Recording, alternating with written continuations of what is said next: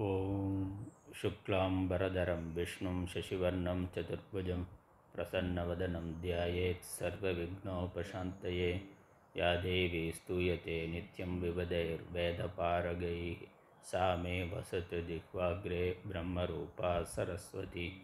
निधये सर्वविद्यानां विषजे भवरोगिणां गुरवे सर्वलोकानां दक्षिणामूर्तये नमः श्रीदक्षिणामूर्तिसुदेशिकेन्द्रं द्वैपायनं सूत्रकृतं मुनीन्द्रं श्रीशङ्करं भाष्यकृतं यतीन्द्रं मद्देशिकञ्चापि नमामि विद्यै।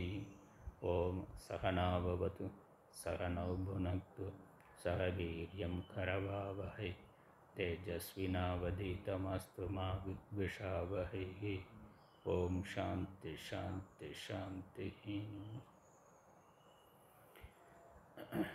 ஸ்ரீ குமாரதேவர் அருளிய மகாராஜா துறவு கடவுள் வாழ்த்து. அமரர்கள் பரவும் திரு திருமுதுகுன்றில் ஆழத்து பிள்ளையை சிகரே. குமர சத்குருவை இமகிரி ராஜ. குமரியாம் பெரிய நாயகியை. மும்மலமும் மும்மளமும் ஒருங்கே அகற்றிடும் முக்கண். முதல்வனைச் சார்ந்த நாயகனை நமதினப்படியே நமதெனப்படியே முடிந்திட தினமும். நாடி நின்று இறைஞ்சி வாழ்த்திடுவோம்.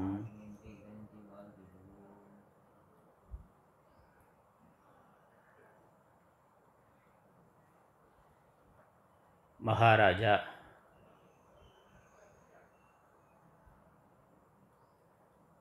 விவேக வைராக்கியத்தினால். சத்குருவை நாடி ஞான உபதேசம் செய்யுமாறு வேண்டுகின்றார்.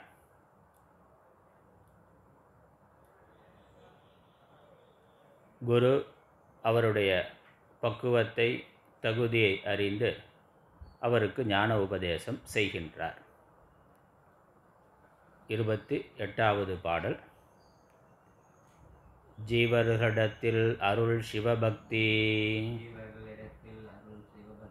திருந்திய துறவு மெய்ஞானம் ஆவது ஓர் வடிவமாம் வேதமாமுனியை அமல ஆரண்யத்தில் அடைந்தே. தேவர்கள் தேவே துன்பமோர்காலும் சென்றிடா முக்திதான் எய்தி. சாவதும் பிறப்பும் நீங்கும் ஓர் நெறியை. சாற்று எனத் தாழ்ந்திட முடிவன். சாற்றென தாழ்ந்திட முடிவான். துன்பம் ஓர்காலும் சென் சென்றிடா முக்திதான் எய்தி. சாவதும் பிறப்பும் நீங்கும் ஓர் நெறியை சாற்று. துன்பம் சிறிதும் இல்லாத ஒரு பெரு வாழ்வை அதை அடைவதற்கான நெறியை வாழ்க்கை முறையை வழிமுறையை சாதனத்தை எடுத்துச் சொல்லுங்கள். பிறவியிலிருந்து விடுபடுகின்ற உபாயத்தை எடுத்துச் சொல்லுங்கள் என்று மகாராஜன் குருவை அணுகி தகுதியான குருவை அணுகி பிரார்த்திக்கின்றான் வேண்டுகின்றான். அதனால் நம்ம விரும்புகிறது துன்பம் இல்லாத வாழ்வு. பிறவி என்று வந்தாலே துன்பம் இருக்கத்தான் செய்யும். ஆகவே பிறப்பே வேண்டாம் வேண்டுங்கால் வேண்டும் பிறவாமைனா. பிறவை பிறவியே வேண்டாம் ஆதலால் பிறவி வேண்டேன். பிறவியே வேண்டாம் அந்த பிறவியிலிருந்து இருக்கின்ற பிறவியிலிருந்து விடுபடுகின்ற வழிமுறை என்ன உபாயம் என்ன என்று எடுத்துச் சொல்லுங்கள் என்று பிரார்த்திக்கின்றான். சத்குரு மகாராஜனுக்கு ஞான உபதேசம் செய்தல். இருபத்தி ஒன்பதாவது பாடல். இருவகை சார்வாம் புறப்பற்றை நீக்கி இச்சையின் மீட்டு அதனின் அதின் நினைவும்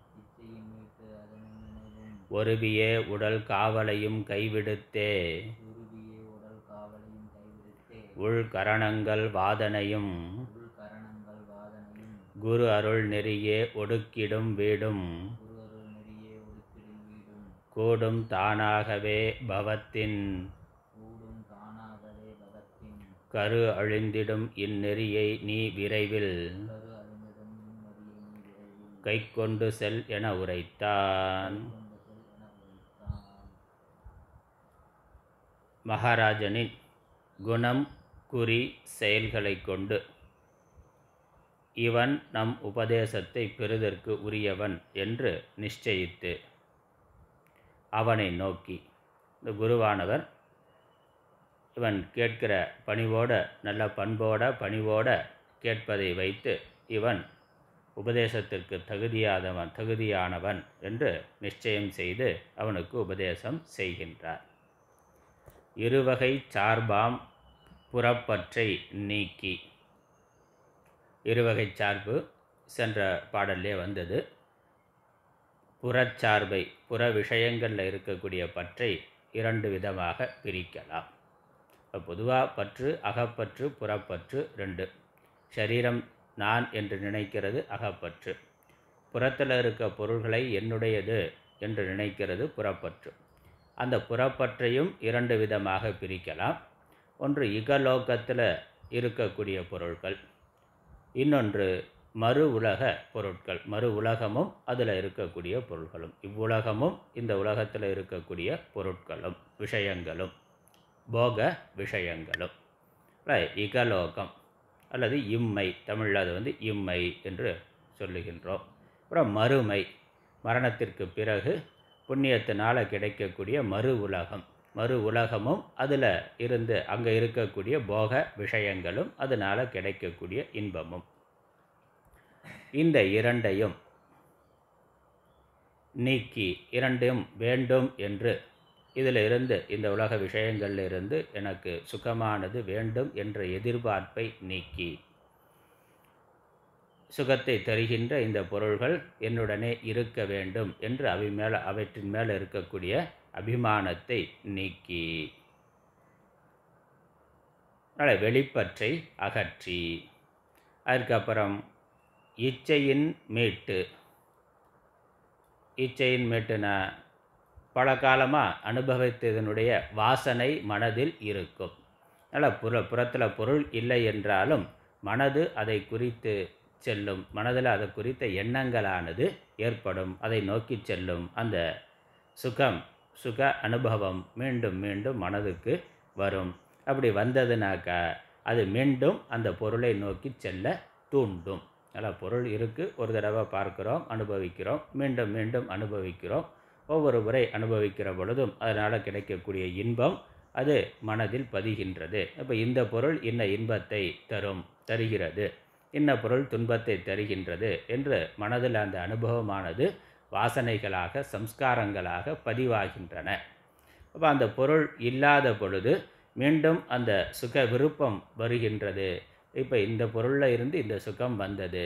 ஆகவே மீண்டும் அந்த பொருளை நாம் அடைவோம் என்று அந்த வாசனையானது அடுத்த செயலுக்கு மீண்டும் அந்த பொருளை அடைவிக்க செய்கின்ற தூண்டுதலை ஏற்படுத்தும். அதனால் பொருளை நீக்கினால் மட்டும் போதாது அதை குறித்த வாசனைகளையும் நீக்க வேண்டும். அப்போ தான் நம்ம அதிலிருந்து விடுபட முடியும்.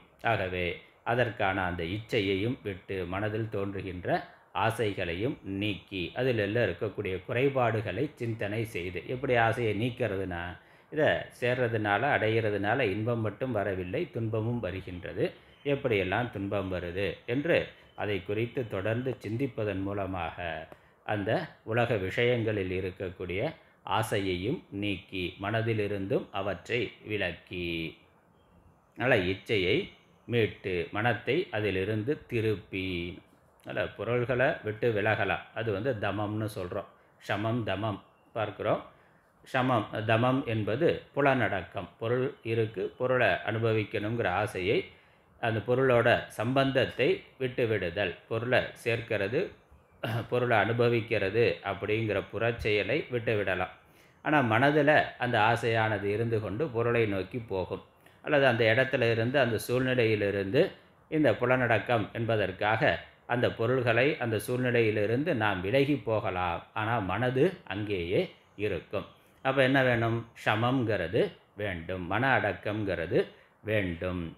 அது பழக்கத்தினால அதற்கு எதிரான விஷயங்களை சிந்தனை பண்ணுறதுனால அந்த பொருளில் இருக்கக்கூடிய குறைபாடுகளை சிந்தனை பண்ணுறதுனால மனதை அதிலிருந்து திருப்புதல் வேண்டும். அப்படி மனதை திருப்பி அதை விட மேலான பொருளில் மனதை செலுத்துகின்ற பொழுது மனது அல்பமான பொருள் மேலே இருக்கக்கூடிய ஆசையை விட்டுவிடும். அதனால் அதற்கு மேலாக இருக்கக்கூடிய பரம்பொருள் இறைவன் ஆன்மீகம் ஆன்மீக சாதனைகள் அதனால் கிடைக்கக்கூடிய மேலான நன்மை. எப்படி? மனதை ஆன்மீகம் நோக்கி திருப்புகின்ற பொழுது உலகியல் உலகியலிலிருந்து மனதானது விடுபடும். அதனால் இப்படி உலக விஷயங்களை நீக்கி உலக பொருள்கள் மேலே இருக்கக்கூடிய பற்றை நீக்கி அதை குறித்து மனதில் இருக்கக்கூடிய ஆசைகளையும் நீக்கினார். நீக்கி குரு சிஷ்யனுக்கு உபதேசம் பண்ணுறார் இப்படி துன்பத்திலிருந்து நீ விடுபட வேண்டும் என்றார். இந்த உலகப் பொருள் மேலே உலகப் பொருள்களை விலக்கி கொள்ள வேண்டும். அதன் மேலே இருக்கக்கூடிய ஆசைகளையும் நீ விளக்கி கொள்ள வேண்டும். நீக்கி அதுக்கப்புறம் என்ன பண்ணணும்? உடல் காவலையும். உடல் காவல் உடலை பாதுகாத்தலையும். இந்த உடம்பு அது பிராரப்தத்தினால் வந்தது. பிராரப்தம் இருக்கிற வரைக்கும் உடம்பானது இருக்கும். பிராரப்தப்படி என்ன சுகதுக்கங்கள் வருமோ? சுகதுக்கத்தை தரக்கூடிய பொருள்கள் சூழ்நிலைகள் மனிதர்கள் என்ன அமையுமோ அவைகள் அது தானாக நடக்கும். நான் இந்த உடம்பை பாதுகாக்க வேண்டும் என்கிற அந்த தன் முனைப்பை விடுத்து. அதனால் பிராரப்தப்படி இயற்கையில் என்ன வருதோ விதிப்படி என்ன வருதோ அது வரும் போகும். விதி இருந்தா உயிரோடு இருக்கணும்னு விதி இருந்தாக்கா கண்டிப்பாக இந்த உடம்பு உயிர் வாழ்வதற்கான தேவையான உணவு முதலானவைகள் தானாக கிடைக்கும். விதி முடிந்தது என்றால் எல்லாம் சுற்றி இருந்தாலும் அதை அனுபவிப்பதற்கு முடியாது. அதனால் உடலை பாதுகாத்தல். நாம் தான் இந்த உடலை பாதுகாத்து கொண்டு இருக்கிறோம் நினைக்கிறோம். உண்மையிலேயே அது விதியினால் நடந்து கொண்டிருக்கின்றது விதியினால் இருக்கின்றது. விதி முடிந்தால் எங்கே போனாலும் சரி அப்பல்லோ போனாலும் சரி அமெரிக்கா போனாலும் சரி ஒன்று எவ்வளோ லட்சம் செலவு பண்ணாலும் விதி முடிந்தால் அதை பாதுகாக்க முடியாது காப்பாற்ற முடியாது. விதி இல்லைன்னா ஜிஹெச்சில் போயிட்டே திரும்பி வந்துடுவான் நல்ல விதமாக வேறு ஒன்றும் பைசா செலவு இல்லாமல் அது வந்து ஒன்று போகாமலே ஹாஸ்பிட்டல் போகாமலே தானாக காலத்தினால சில நோய்கள் சரியாகி விடும்னா அதனால் அல்லது நோய் இருந்தாலும் ஆள் சாக மாட்டார் உயிரோடு இருப்பார் இருந்து கொண்டே இருப்பார்.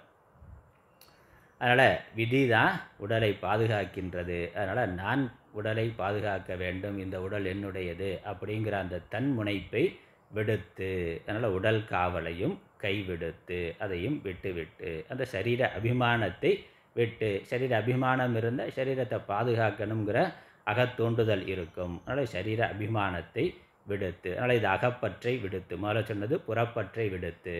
புறப்பற்றையும் புறப்பொருள்களை விடுத்து புறப்பொருள்கள் மேலே இருக்கக்கூடிய ஆசையை விடுத்து. அதே மாதிரி இந்த சரீரம் அகப்பற்று அதையும் சரீரம் நான் என்ற எண்ணத்தையும் விடுத்து. அப்புறம் உள்கரணங்கள் வாதனையும்.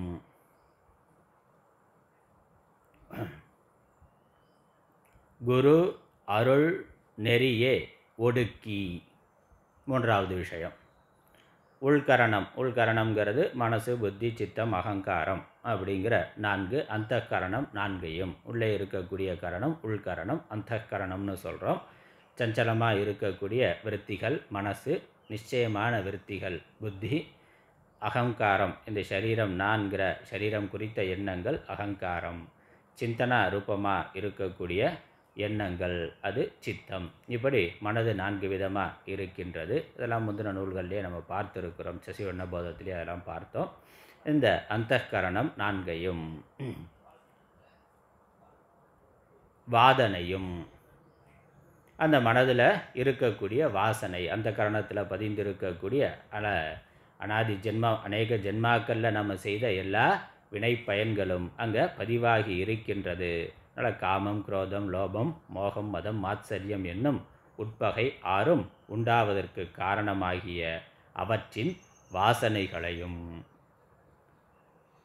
குரு அருள் நெறியே ஒடுக்கீடில். குரு குரு உபதேசிக்கின்ற உபதேசித்த ஒழுங்கின்படியே தர்மமான முறையில் வாழ்ந்து ஒடுக்கிடில் கட்டுப்படுத்தினால் மனதை அது இஷ்டத்துக்கு போக விடாமல் விருப்பு வெறுப்புப்படி செல்ல விடாமல் முதல்ல தர்மத்தின் அடிப்படையில் போகணும். அப்புறம் அதிலும் இன்னும் தர்மத்தையும் பலனை எதிர்பார்க்காம கர்மயோகமாக செய்து பழகுதல். அப்புறம் உபாசனை முதலானவைகளை செய்தல். இப்படி படிப்படியான சாதனைகளை பின்பற்றி இந்த வாசனைகளையும் ஒடுக்கினால் அந்த கரணத்தையும் ஒடுக்கினால். ஒடுக்கிடில் வீடும் கூடும் மோட்சமானது சித்திக்கும். அதனால் இங்கே ஞான உபதேசம் பண்ணலை. என்ன சாதனைகள்ங்கிறத சொல்கிறார் பிறகு ஞான உபதேசமும் பண்ணுறார் ஆனால் அதை பற்றி விரிவாக இங்கே பாடல்களில் வரலை. புறப்பற்றை விட முதல்ல உலகப்பற்றை விட வேண்டும். அப்புறம் உடல் பற்றை விட வேண்டும். அப்புறம் மனதை ஆத்ம விஷயத்திலேயே நிறுத்த வேண்டும். இதுதான் குரு இங்கே சொல்லியிருக்கக்கூடிய சாதனை. மூணு சாதனை. புறப்பற்றை உலகப்பற்றை உலகப் பொருள்கள் உலக போகங்கள் மேலே இருக்கக்கூடிய ஆசையை விட்டுவிட வேண்டும். சரீர அபிமானத்தை விட்டுவிட வேண்டும். அதுக்கப்புறம் ஆத்ம ஞான சாதனைகளை பின்பற்ற வேண்டும். அதிலேயே மனதை ஒருமுகப்படுத்தி நிறுத்த வேண்டும். அப்படி நிறுத்தினா மோட்சமானது சித்திக்கும் வீடும் கூடும் மோட்சமும் சித்திக்கும். நீ விரும்புகிற அந்த பிறவாத நிலை துன்பமில்லாத பெருவாழ்வு அது கிடைக்கும்.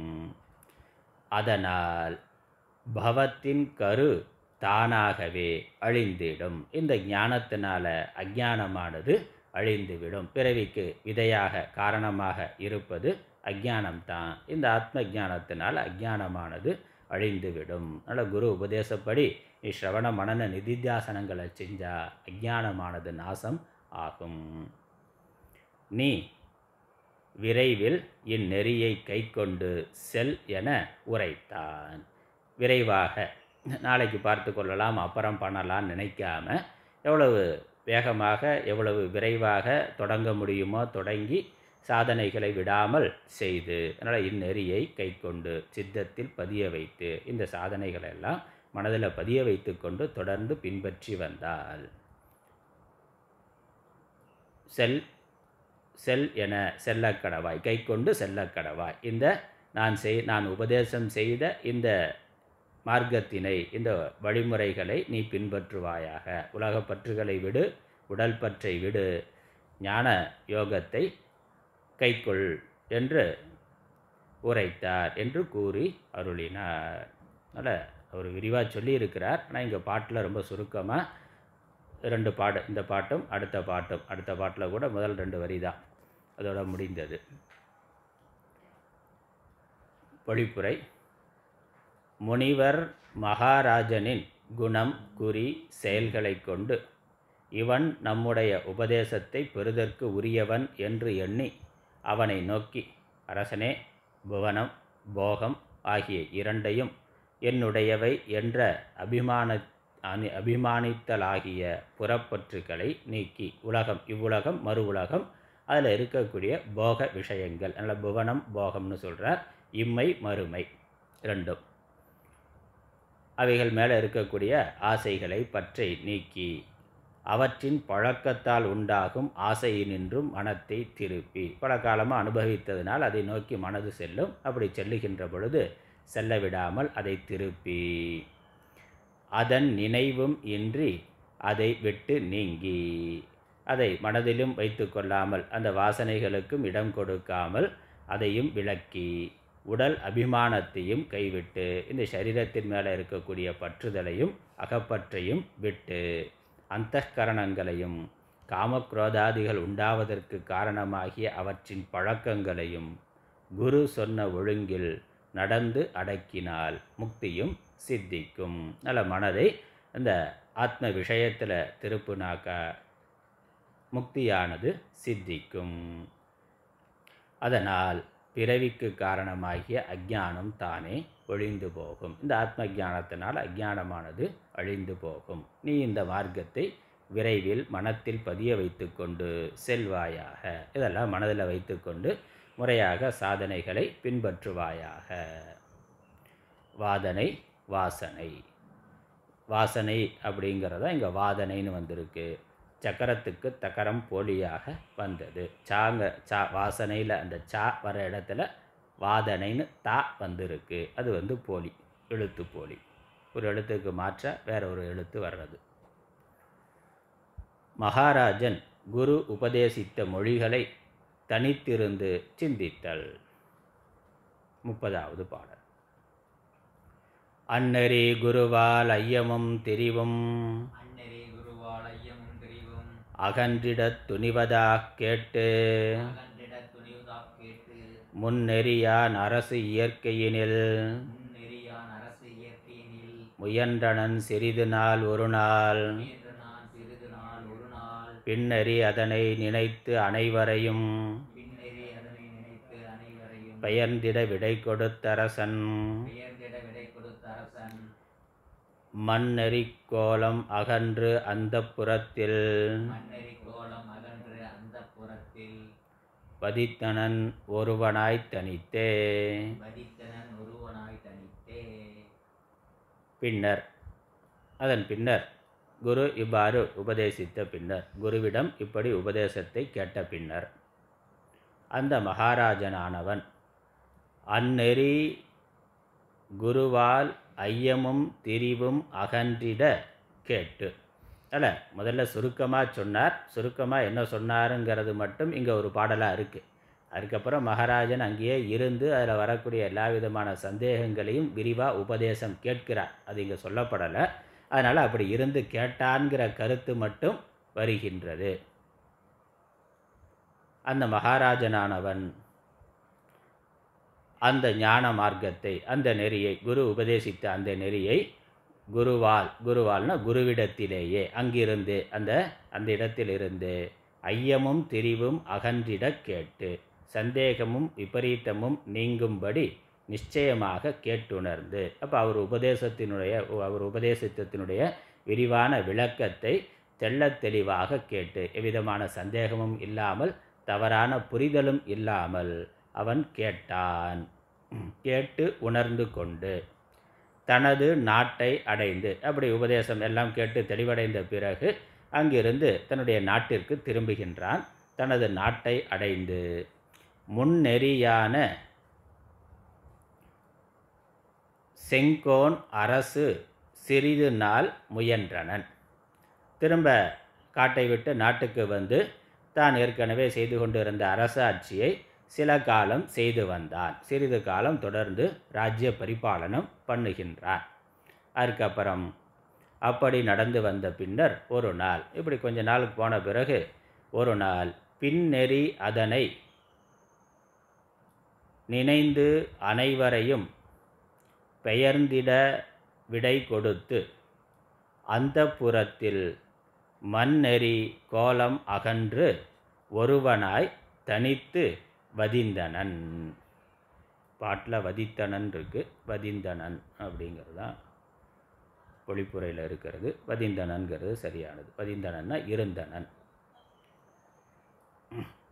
இப்படி சில காலம் குருவிடம் உபதேசம் பெற்று வந்த பிறகு சில காலம் ராஜ்யம் செய்தான். அதன் பிறகு அவனுடைய அந்த ஞானம் ஞான தாகத்தினால் அவனால் அவனுடைய வைராக்கியம் விவேக வைராக்கியம் விருத்தி அடைய அடைய அது பலம் பெற அவனால் தொடர்ந்து ராஜ்யத்தை செய்ய முடியவில்லை. ஏன்னா அவனுடைய மனது கவனமெல்லாம் அந்த தத்துவ விஷயத்திலேயே தத்துவ சிந்தனையிலேயே இருக்கின்றது. அதனால் என்ன பண்ணுறான் ஒரு நாள் தான் உபதேசம் பெற்ற தான் வனத்தில் முனிவர் பால் உபதேசம் பெற்றுக்கொண்ட ஞான மார்க்கத்தை சிந்தித்து தீவிரமாக அதை சிந்தனை பண்ணுறான் அதுக்கப்புறம் எல்லா சபையில் இருந்த அனைவரையும் அழைத்து எல்லாம் கலைந்து போங்கன்னு சபை கலைந்ததுன்னு சபையை கலைச்சிட்டு இவன் தனியாக அந்த புறத்துக்கு போய் அங்கே இருந்து சிந்தனை செய்கின்றான். அங்கே போய் அந்த ராஜ அலங்காரத்தையும் அனைத்தையும் துறந்து விட்டு அவன் அங்கு தனிமையாக இருந்து சிந்தனை செய்கின்றான்.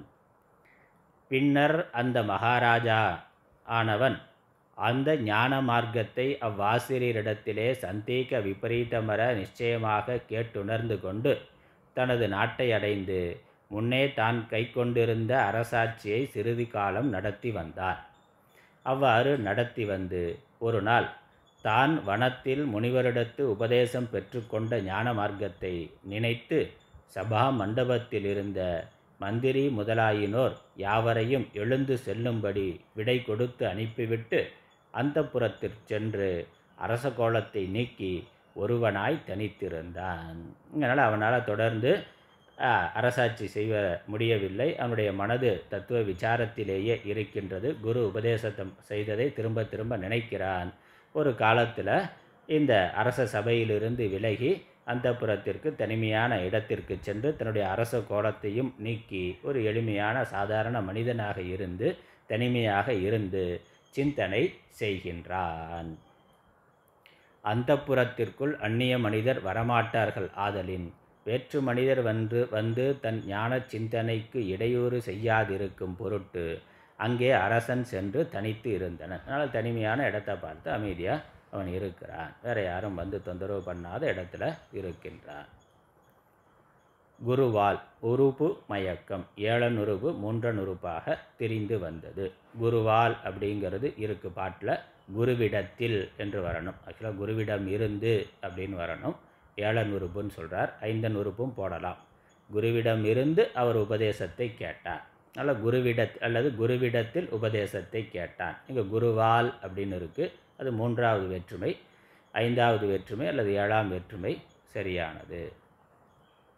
அதனால் ஏழனுறுப்பு வரணும். ஆனால் அந்த இடத்துல மூன்றன் உறுப்பு தெரிந்து வந்திருக்கின்றது. அதனால் இதுக்கு வந்து உறுப்பு மயக்கம் வேற்றுமை உறுப்பு மயக்கம்னு இலக்கண விளக்கம். சிறிது நாள் என்பது நாள் காலத்தை உணர்த்தி நின்றது அதனால் சிறிது நாள்னாக்கா எவ்வளவு நாளுங்கிறது சொல்லலை. அதனால் சிறிது காலம் என்று எடுத்துக்கொள்ளணும். அது ஆறு மாதமோ ஒரு வருடமோ இல்லை சில வருடங்களோ தெரியாது. சில காலம் ஆட்சி செய்தார் அதன் பிறகு அவனுக்கு அந்த சிந்தனை விருத்தி அடைய அடைய இந்த லௌகிக ஆசைகள் குறைய குறைய அவனால் தொடர்ந்து ராஜ்யம் பண்ண முடியவில்லை. அதனால் தனித்திருந்து சிந்திக்க தொடங்கிவிட்டான். தனித்திருந்த மகாராஜன் தன்னிடம் வந்த அரசர் முதலாயினோர்க்கு யான் துறவை நாடி இருக்கின்றேன்.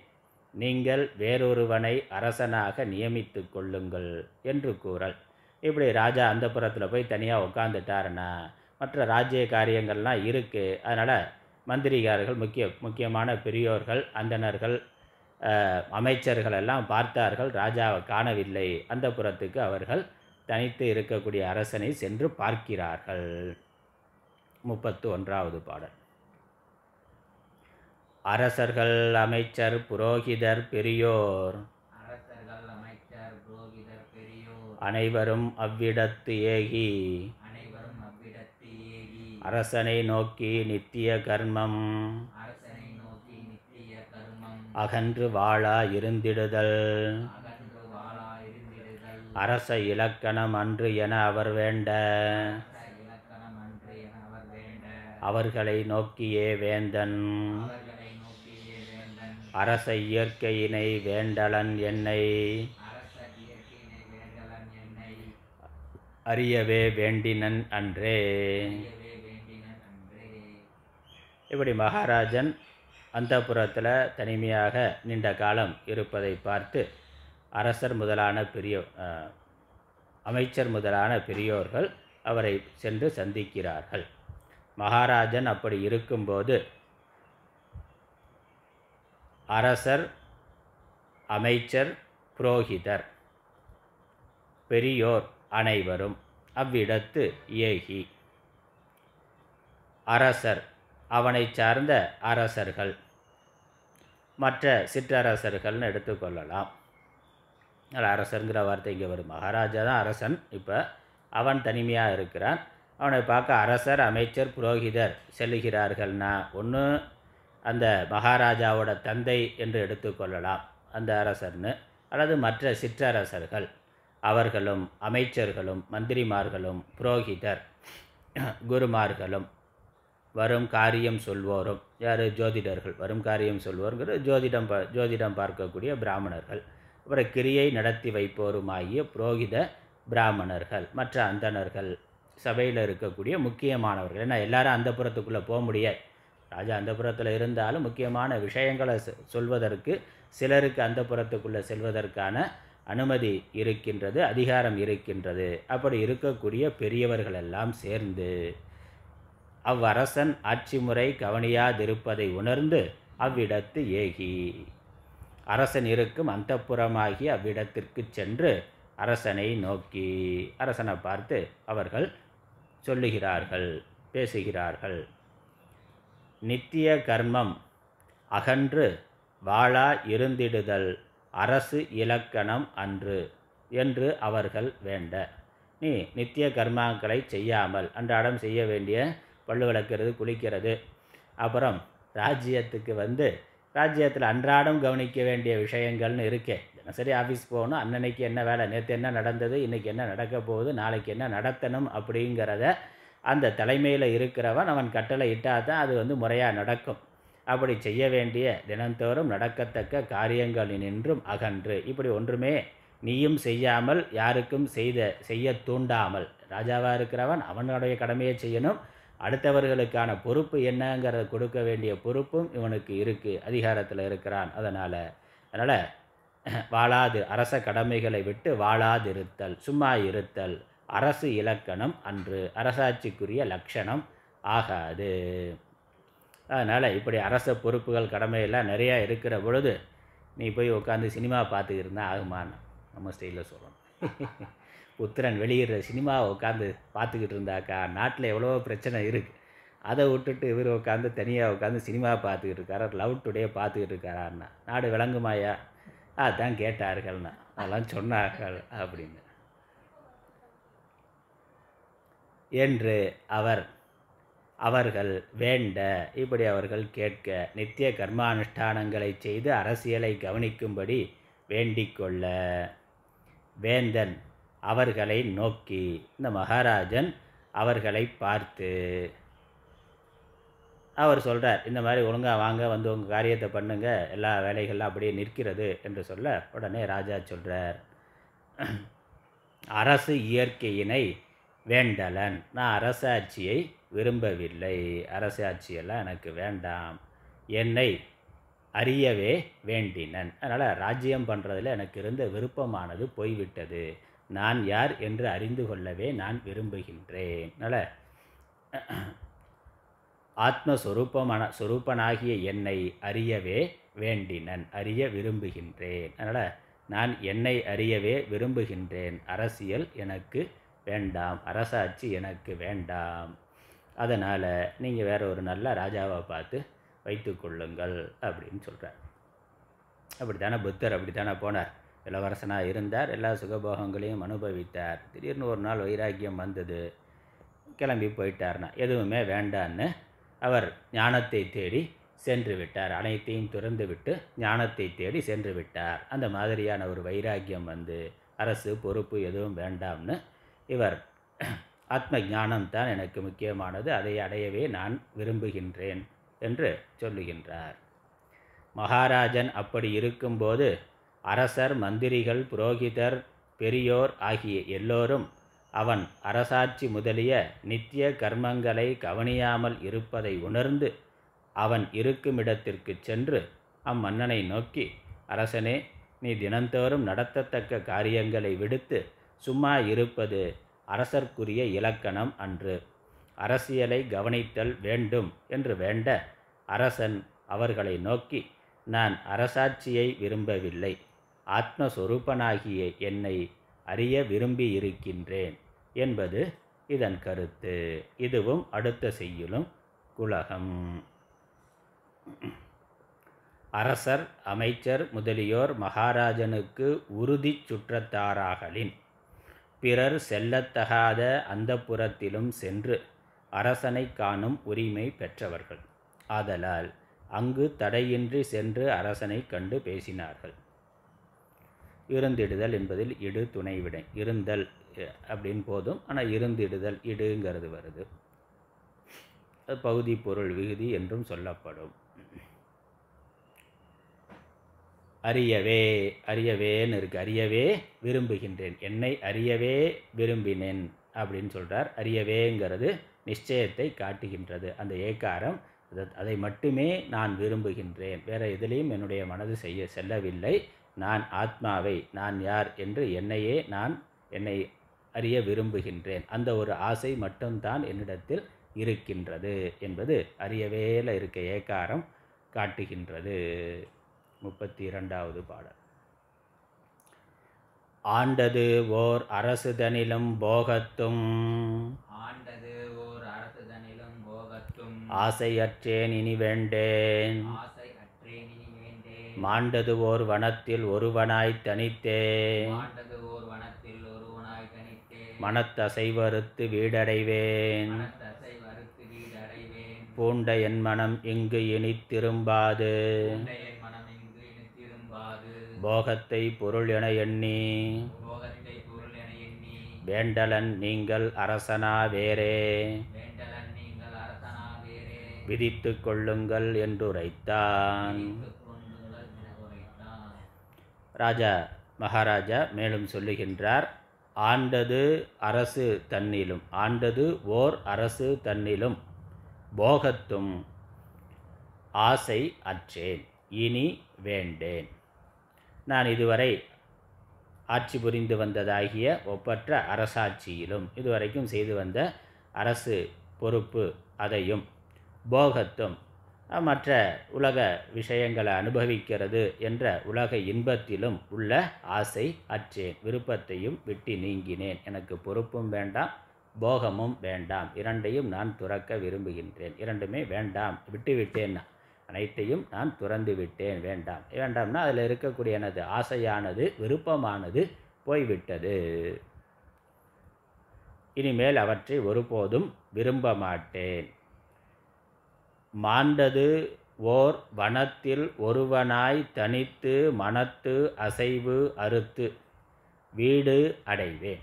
அப்போ இனிமேல் என்ன பண்ண போகிறீங்கன்னா இது வேண்டாம் அரசாட்சியும் வேண்டாம் அரச போகமும் வேண்டாம் அப்படின்னா என்ன பண்ண போகிறீங்க காட்டில் தனியாக போய் இருந்து நான் மனதினுடைய அசைவை சலனத்தை நிறுத்தி மனதை ஒருமுகப்படுத்தி ஆத்ம தத்துவத்திலேயே நிறுத்தி மோட்சத்தை அடைவேன். அதுதான் என்னுடைய இலக்கு. அதுதான் என்னுடைய லட்சியம். அதுதான் அடுத்து நான் செய்ய போகிறது மாண்டது ஓர் வனத்தில். மாண்டதுங்கிறதுக்கு இந்த இடத்துல மாண்பு பொருந்தியது மாண்பு உள்ளது அப்படின்னு அர்த்தம். வனத்தினுடைய பெருமையை சொல்கிறார் அதனால் மாட்சிமைப்பட்டதாகிய. அதனால் மாண்டது ஓர் வனம்னா பெருமை மிக்க. என்ன பெருமை வனத்துக்கு? காட்டில் போய் இருந்த வேறு எந்த தொந்தரவும் இருக்காது. மற்ற தொந்தரவுகள் போட்டி பொறாமை. அகங்காரம் இதுக்கெல்லாம் ஒன்றும் வேலை இல்லை. ஆசை கோபம் இதுக்கெல்லாம் வேலை. ரெண்டாவது ஒரு மனுஷன் இல்லைனாலே பிரச்சனை இல்லை. இப்போ காட்டில் போய் இருந்தாலே பெரிய பெரும்பாலான பிரச்சனைகள் சரியாயிரும். அதனால் அப்படி அந்த அளவுக்கு அந்த பெருமை உடையது. காடுங்கிறது ஏகாந்தத்திற்கு உகந்த இடமாக இருக்குது அத்தகைய பெருமை உடையது. மற்ற கெட்ட எண்ணங்களுக்கு கெட்ட விஷயங்கள் எதுவும் இல்லாதது. பொல்யூஷன் இல்லாததுன்னு. அதான் பெருமை. காட்டுக்கு வனத்துக்கு பெருமை. நம்ம போனால் பொல்யூஷன் பண்ணுவோம் அது வேற. நம்ம போய் எல்லாத்தையும் குப்பையாக்கிட்டு வந்துடுவோம் ஆனால் அது இயற்கையாக ஒரு அமைதியும் அழகும் நிறைந்தது. அந்த இயற்கை தன்மை மாறாமல் இருக்கக்கூடிய இடம் அது. அதான் அதனுடைய பெருமை. அந்த இடத்துல போய் இருந்து நான் தனிமையாக இருந்து ஆத்ம தத்துவத்தை சிந்தனை செய்ய விரும்புகின்றேன். ஆத்ம ஞானத்திலேயே மனதை நிறுத்தி மனதை அசைவர நிறுத்தினால் அசைவு அறுத்தி தனித்து மனத்து அசைவு அரித்து அறுத்து தனிமையாக இருந்து மனதினுடைய சலனத்தை நிறுத்தி மனதை மனதிலே மனதை ஆத்ம தத்துவத்திலே ஒருமுகப்படுத்தி அதன் மோ அதனால் மோட்சத்தை அடைவேன். ஞான நிஷ்டை பெற்று மோட்சத்தை அடைவேன்.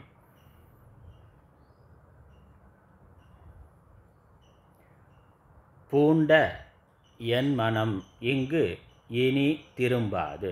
இப்படிப்பட்ட வைராக்கியத்தை கொண்ட என்னுடைய உன் மனமானது இனி இந்த உலக போகங்களில் உலக விஷயங்களில் திரும்ப மாட்டாது. இனிமேல் நான் இந்த உலகத்துக்குள்ளே இருந்து வாழ விரும்பவில்லை. போகத்தை பொருள் என எண்ணி வேண்டிலேன் இந்த உலக போக விஷயங்கள் பெண் முதலான அனைத்து சுக விஷயங்களையும் அது பொருட்டா ஒரு பொருட்டாக நான் மதிக்கவில்லை. அவைகள் உண்மையான சுகத்தை தராது என்ற தெளிவை நான் அடைந்து விட்டேன். அதனால் எனக்கு இதெல்லாம் இனிமேல் பெரிய விஷயம் அல்ல. உலக போகங்கள் எல்லாம் எனக்கு இனிமேல் ஒரு விஷயம் அல்ல. அதனால் என்ன பண்ணணும்? நீங்கள் வேறே அரசனா ஒருவனை விதித்து கொள்ளுங்கள் என்று உரைத்தான். அதனால் நீங்களாக பெரியவர்கள்லாம் சேர்ந்து பார்த்து வேற ஒரு நல்ல மனுஷனை நேர வேற ஒரு நல்ல ஆளாக திறமை அறிவும் திறமையும் உடையவனை அரசனாக தேர்ந்தெடுத்து நியமித்து கொள்ளுங்கள் என்று சொல்லிட்டார். நான் இதுவரை ஆட்சி புரிந்து வந்த அரசாட்சியிலும் உலக இன்பத்திலும் கொண்டிருந்த ஆசையை நீக்கிவிட்டேன். இனி அவற்றை ஒருபோதும் விரும்ப மாட்டேன். சிறந்த ஒரு வனத்தில் சென்று தனித்து ஒருவனாய் நிஷ்டையிலிருந்து மனோவிகாரத்தை ஒழித்து முக்தியை அடைவேன். இவ்வாறு வைராக்கியம் கொண்ட என் மனம் இவ்வுலகத்தில் இனி மேற்கூறிய இன்பத்தில் திரும்பாது. பெண்களால் அடையும் இன்பத்தையும் நான் ஒரு சிறந்த பொருளென மதித்து விரும்பேன். அதலால் நீங்கள் வேறொருவனை அரசனாக நியமித்து கொள்ளுங்கள் என்றுரைத்தான் என்பது இதன் கருத்து.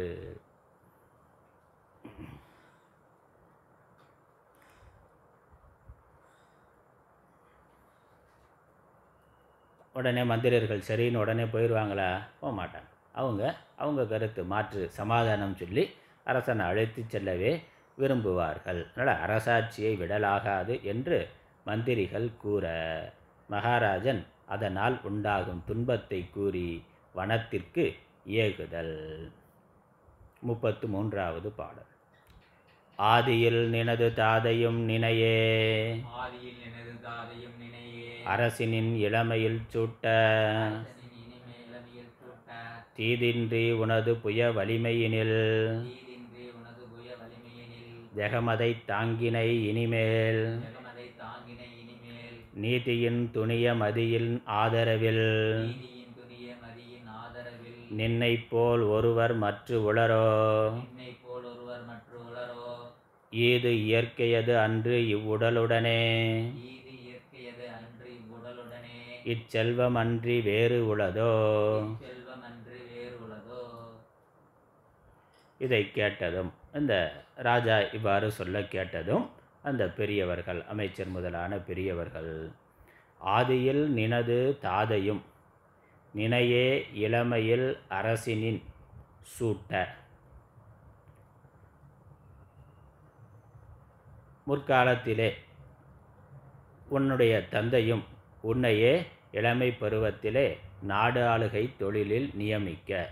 நீதான் அவருக்கு அடுத்து நீதான் ராஜாவாக இருக்கணும். உன்னுடைய உன்னுடைய தந்தை உன்னை நியமித்திருக்கிறார். உனக்கு அரசாட்சியை கொடுத்திருக்கின்றார். அந்த அளவுக்கு தகுதி உடையவனாக உன்னை வளர்த்து உன்னிடத்தில் ராஜ பாரத்தை கொடுத்திருக்கிறார். அதனால் இதுலேருந்து என்ன தெரியுது? அந்த முதல்ல சொன்ன அரசருங்கிறது அவங்க அப்பா இல்லைன்னு தெரியுது. அவங்க அப்பா பண்ணியிருக்காருன்னா அவர் இப்போ வரலைங்கிறது தானே. வேறு யாரோ சிற்றரசர்கள்லாம் வந்து இருக்கிறார்கள் அதனால் உன்னுடைய தந்தையும் நீ தான் ராஜா ராஜ் ராஜ்யம் பண்ணணும் என்று உன்னிடத்தில் உன்னை நம்பி பொறுப்பை கொடுத்திருக்கிறார்கள். அது அதே மாதிரி நீ என்ன பண்ண? அந்த பொறுப்பை ஏற்றுக்கொண்டு. உனது புய வலிமையினில் தீது இன்றி ஜெகமதை சுமந்து சுமந்தனை. தாங்கினை ஜெகமதை தாங்கினை. நீயும் தந்தை கொடுத்த பொறுப்பை மகிழ்ச்சியோடு ஏற்றுக்கொண்டு சிறப்பாக ராஜ்யம் செய்தாய். அவர் ஏற்கனவே மகாராஜா சக்கரவர்த்தியாக பெரிய அரசனாக இருந்த. அதற்கு மேலே உன்னுடைய புஜ வலிமையினால் இன்னும் ராஜ்யத்தை விரிவுபடுத்தி நீயும் சீரும் சிறப்போடுமே ராஜ்யத்தை பரிபாலித்து வந்தனை. அதனால் அப்பாவும் உனக்கு தான் பொறுப்பு கொடுத்துருக்கிறார். உனக்கு பரம்பரையாக அதிகாரம் உன்னிடத்தில் இயல்பாக வந்திருக்கிறது. அதோட அப்படி வந்த பொறுப்பை நீயும் சிறப்பாக கண்டா க கையாண்டிருக்கிறாய். அதற்கான அதை விரிவுபடுத்தி இருக்கிறாய். இன்னும் மேலாக சிறப்பாக ராஜ்யம் செய்திருக்கிறாய். அதனால் என்னது? நீ தான் அதுக்கு தகுதியான ஆள் விஷயம். அதனால் அப்பேற்பட்ட நீ வனத்திற்கு சென்று விட்டால் இப்படி இருக்கிற பொழுது நீ திடீர்னு காட்டுக்கு போயிட்டா? இனிமேல் நீதியின் நுண்ணிய மதியின் ஆதரவில் நின்னை போல் ஒருவர் உளரோ? நீ காட்டுக்கு போயிட்டா? உன்னை மாதிரி தர்மமும் தர்மம் தெரிந்தவர்களாகவும் ஒழுக்கமுடையவர்களாகவும் நல்ல நுட்பமான அறிவுடையவர்களாகவும் இருக்கக்கூடிய ஒருவர் இருக்கிறார்களான்னு இப்போதைக்கு யாரும் அந்த மாதிரி உனக்கு சமமாக உன்னை போல் சிறப்பாக ராஜ்யம் செய்ய செய்ய தகுதி உடையவர்களாக யாரும் இல்லை. அதனால் ஆதலால் இது இயற்கையது அன்று? நீ நினைக்கிறது சரியானது அல்ல. உலகத்திற்கு நன்மை தரத்தக்கது அல்ல. இவ்வுடலுடன் இச்செல்வம் அன்றி வேறு உளதோ இவ்வுடம்பும் இச்செல்வமும் அல்லாமல் இந்த உலகத்தில் மனிதர் அடையத்தக்கது வேறு உண்டோ? இல்லைனா இது ஒன்று ராஜ்யம் உனக்கு தந்தையே உனக்கு கொடுத்துருக்கிறார். பரம்பரையாக வந்திருக்கு. நீயும் அதை சிறப்பாக சிறப்பாக ராஜ்யம் பண்ணி இருக்கிறாய். நீ போயிட்டா உனக்கடுத்து இதே தகுதியுடையவர்கள் யாரும் ராஜ்யத்துக்கு வர்றதுக்கு இல்லை. அது மட்டும் இல்லை இதெல்லாம் விட்டுட்டு நீ போய் என்ன பண்ண போகிற அதாங்க நீ இதெல்லாம் விட்டு இதெல்லாம் வேணாம். நீ நீ போயிட்டா இங்கே வேறு ஆள் இல்லை ஒரு பக்கம். நீ இதை விட்டு போயிட்டாக்கா உனக்கு என்ன வேலைன்னா? என்ன பண்ண போகிற நீ? இதை விட சுகமான வாழ்க்கை வேறு என்ன இருக்குன்னு? அதனால் இவ்வுடம்பும் இந்த மனித உடல் அதுலேயும் க்ஷத்திரிய ராஜாவாக சிறந்த ராஜாவாக இருக்கிற அளவுக்கு அதனால் நல்லா முன்னாடியே வர்ணனை இருந்தது. முன்னாடியே அவனை அந்த மகாராஜனை பற்றிய வர்ணனை இருந்தது. நல்ல புஜபலம் அறிவு எல்லா கலைகளும் முறையாக கற்றார். அந்த வர்ணனை ஆரம்பத்தில் சொன்ன வர்ணனைகளெல்லாம் என்னது? எல்லா தகு ராஜாவாக இருக்கிறதுக்கு அல்லது இந்த உலகத்தில் இருந்து ஒருவன் உபனிஷத்தில் வர்ற மாதிரி மிக அதிகமான சுகத்தை யார் அனுபவிக்கிறான்னா ஒரு ராஜா நல்ல இளமை இருக்கக்கூடிய ராஜா நல்ல அறிவு திறமை இருக்கக்கூடிய ஒரு ராஜா நல்ல ஐஸ்வர்யங்கள் உடம்புல எந்த நோயும் இல்லாமல் இருக்கிறவன் புத்தியில் குழப்பம் இல்லாமல் இருக்கிறவன் நல்ல கல்வி கற்றவன் நல்ல இளமை இருக்கிறவன். ஒரு பெரிய ராஜ்யமும் கையில் இருக்கிறவன் தான் உலகத்தில் அதிகமான சுகத்தை அனுபவிக்கிறான். அதுக்கு மேலே அனுபவிக்கிறதுக்கு உலகம் என்ன சுகம் இருக்கோ அத்தனை சுகத்தையும் அனுபவிப்பதற்கான வாய்ப்பு அவனுக்கு இருக்கின்றது. அதனால் மனிதன் அனுபவிக்க முடிந்த சுகத்திலேயே உச்சபட்ச சுகத்தை அனுபவிக்கிறவன் ராஜாவா? அனுபவிக்க வாய்ப்பு இருக்கிறவன். அனுபவிக்கணுங்கிறது இல்லை. அனுபவிக்கிறதுக்கான வாய்ப்பு எல்லா விதமான வாய்ப்பும் சுதந்திரமும் அதிகாரமும் வேலை செய்கிறதுக்கு ஆட்களும் போதுமான செல்வமும் இருக்கக்கூடியவன் ராஜா. அதனால் அவன் நினைத்தாக்கா அதிகபட்ச சுகத்தை அவன் தான் மனித பிறவியிலிருந்து இந்த புலோகத்தில் மனித பிறவியிலிருந்து அதிகபட்ச சுகத்தை இந்த ராஜா அனுபவிக்க முடியும். அப்போ இதையே விட்டுட்டு நீ போனா என்ன அர்த்தம்? அதனால் இது எல்லாம் இருந்தது அப்படின்னு சொல்கிறதுக்கு தான் முன்னாடி அந்த வர்ணனை வந்தது. சிறந்த நாடு இருந்தது சிறந்த தகுதியுடையவனாக அவன் இருந்தான். அது இல்லாமல் நல்ல அழகான மனைவி. அது பொண்டாட்டி சரியில்லைன்னா சாமியாராக போகலாம். இல்லை வேறு ஏதாவது சொத்து சுகம் இல்லை கடன் தொல்லை அதிகமாக இருக்குன்னா சாமியாராக போகலாம்.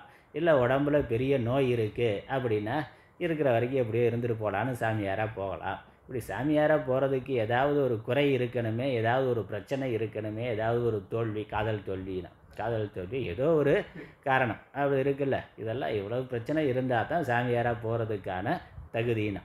அப்படி எதுவுமே இல்லாமல் நீ சாமியாராக போனேன்னு சொன்ன போயிட்டு என்ன பண்ண போகிற அதான் கேள்வி.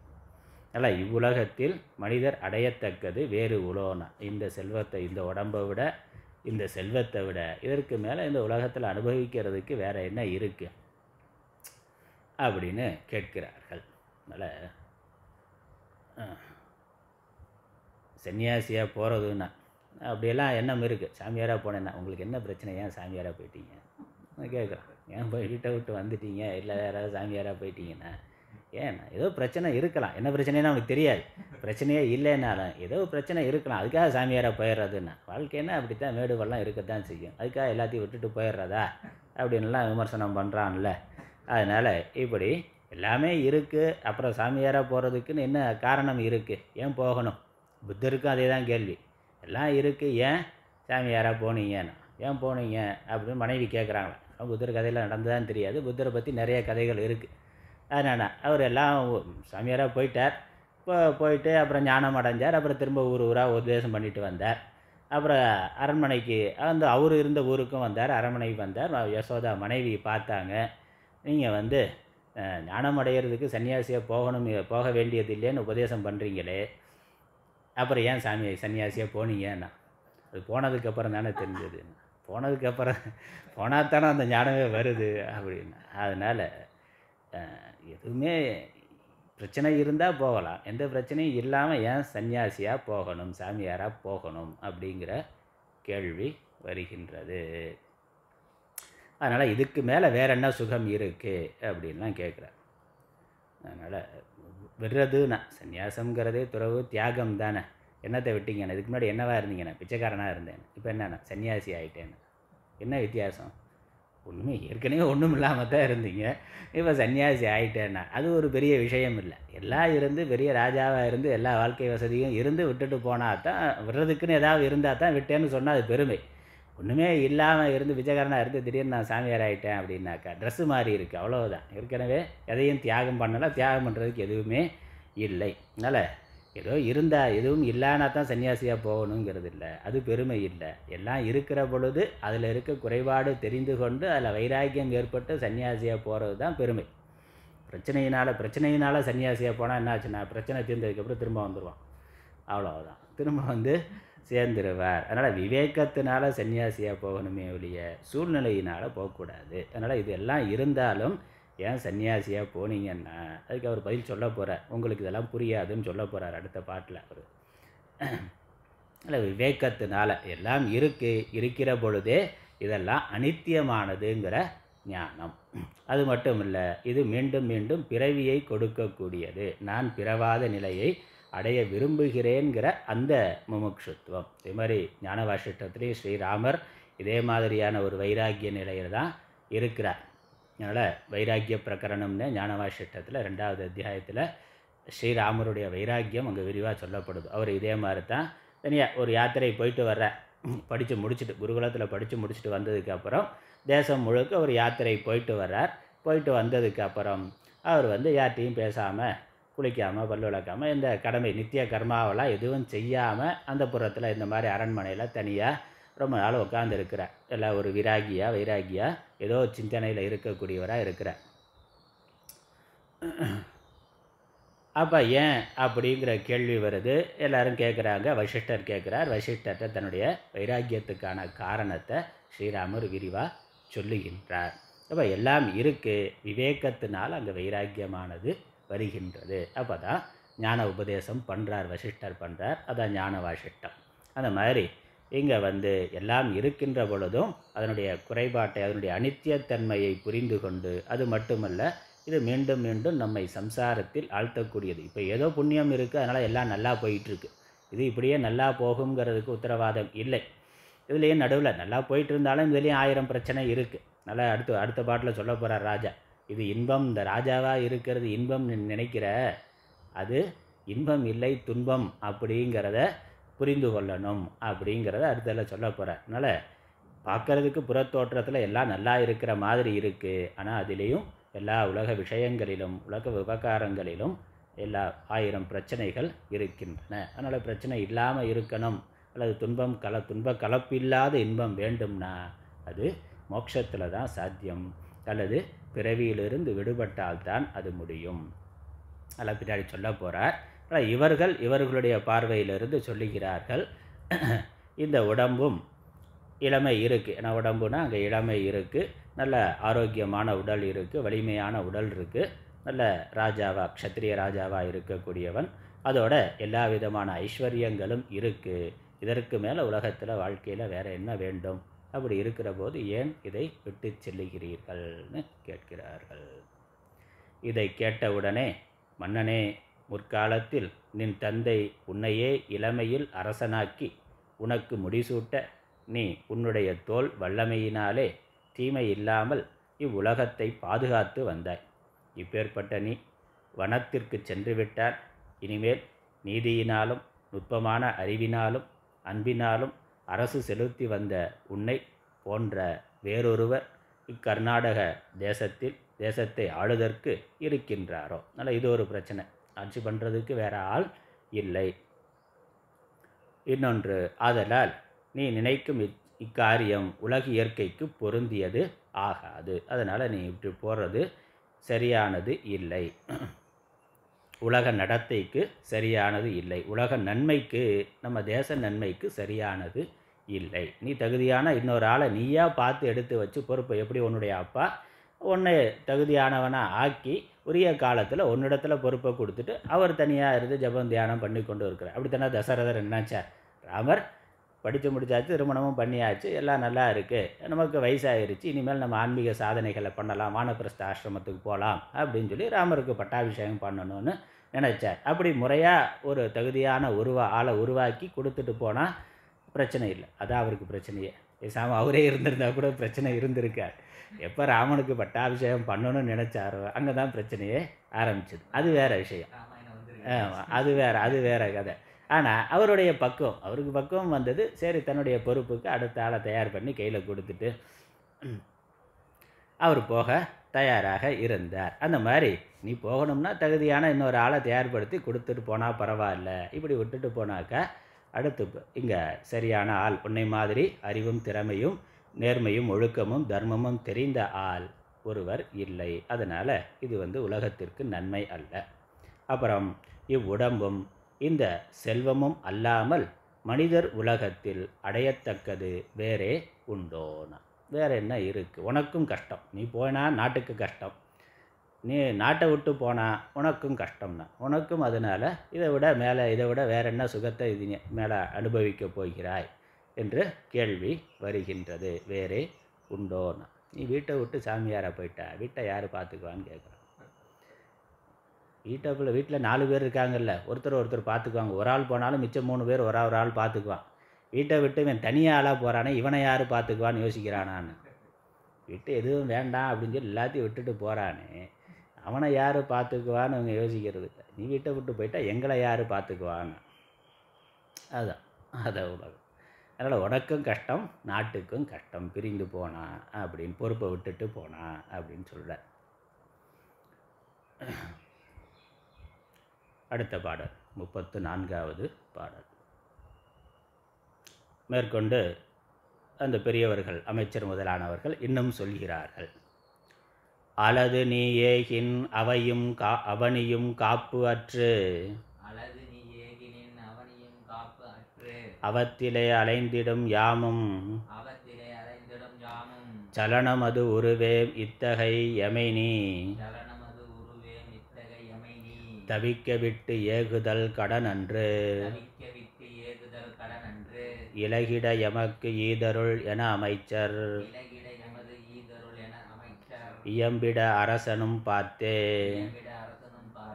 உலக மெய்யென எண்ணூரும் மதியுடையோர்க்கு உலகம் மெய் என்று உணரும் மதியுடையோர்க்கு உரைப்பினும் உணர்வு புதியாது ஆள். உரைப்பினும் உணர்வது யாது ஆள். அல்லது அல்லது. இப்படி நாங்கள் சொல்கிறதெல்லாம் கேட்காம நீ வந்து காட்டுக்கு சென்று விட்டால். இப்படி காட்டிலே இருந்து விட்டார். இப்போ அரண்மனையில் இருக்கிறார். நான் விட்டுட்டு காட்டுக்கு போக போகிறேன்னு சொல்கிறார் நீ நாங்கள் சொல்கிறத கேட்காமல் எங்களை எல்லாம் விட்டு விட்டு நாட்டை விட்டு விட்டு காட்டுக்கு சென்று விட்டால் தனியே சென்று விட்டால். அவனியும் காப்பு அற்று அவத்திலே அலைந்திடும். இவை அல்லாமல் நீ ஏகின் அவனியும் காப்பு அற்று அவத்திலே அலைந்திடும். நீ வனத்திற்கு சென்றால் நின் குடும்பத்தாரே அல்லாமல் இவ்வுலகமும் உன்னுடைய ராஜ்யத்துக்குட்பட்ட இந்த தேசமும் இதில் இருக்கக்கூடிய மக்களும் பாதுகாப்பு இல்லாமல் வீணிலே அலையும். துன்பத்தில் அவர்கள் அவத்திலே அவம்னா துன்பம். துன்பத்தை அடைவார்கள் கஷ்டத்தை அடைவார்கள் கஷ்டத்திலே அடைவார்கள். வேற என்ன பண்ணுறதுன்னு தெரியாமல் நாடு தடுமாறி போகும். யாமும் நாங்களும் சலனம் அது உருவோம். நாங்களும் சஞ்சலம் அடைவோம். ஏன்னா சரியான தலைமை இல்லைன்னா ஆள் ஆளுக்கு ஒவ்வொரு அமைச்சரும் ஒன்று ஒன்று சொல்லுவார் அவர் சேனாதிபதி ஒன்று சொல்லுவார். ஆள் ஆளுக்கு அதிகாரத்தை பொறுப்பை எடுத்துக்கொண்டு பார்ப்பா எடுத்துக்கொள்ள பார்ப்பார்கள். அதனால் ராஜ்யத்தை கட்டுக்கோப்பாக வைத்திருக்கிறதுங்கிறது கடினம். சரியான தலைமை ஒரு தலைமை இல்லைன்னா ராஜ்யம் சிதறுண்டு போகும். அதனால் நாங்களும் சலனம் அது உருவோம். எங்களுக்கும் வழிகாட்டுதலுக்கு ஆள் இல்லாமல் போகும். இத்தகை எமை நீ ஏகுதல் கடன் அன்று. அதனால் இப்படி இத்தன்மையுள்ள இப்படிப்பட்ட பிரச்சனைகளுடைய எங்களை தவிக்க விட்டு பரிதபிக்க விட்டு வனத்திற்கு நீ செல்லுதல் முறைமை ஆகாது. அதனால் அது தர்மம் அல்ல அது சரியானது அல்ல செல்லக்கூடாது என்று சொல்ல. ஆதலால் எங்களுக்கு ஆதலால் எமக்கு இலகிட அருள் என அமைச்சர் இயம்பிட.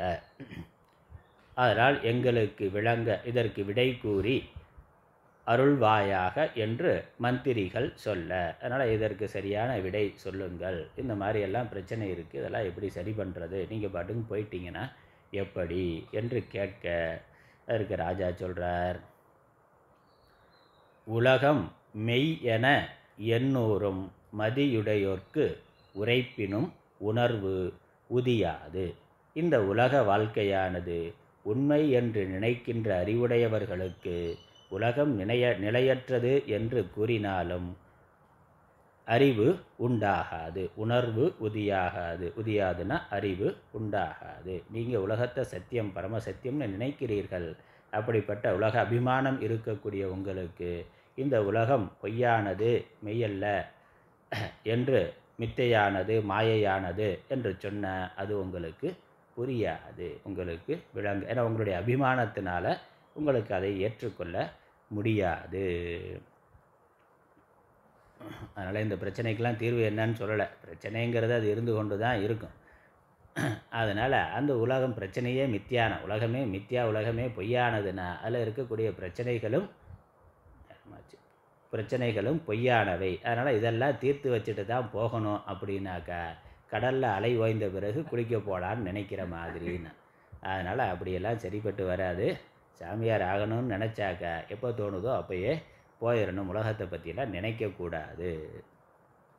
அப்படிங்கிறது தான் அதை நாளைக்கு நம்ம இன்னும் விரிவாக பார்க்கலாம். நாளைய வகுப்பில் பார்க்கலாம்.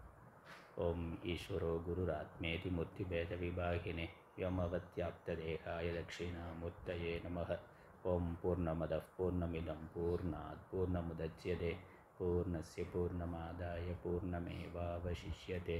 ओम शांति शांति शांति हरि ओम।